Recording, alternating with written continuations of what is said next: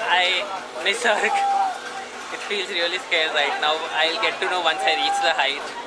Let's hope it all turns out to be wonderful. All the best. Thank you. 31 seconds, and we're going for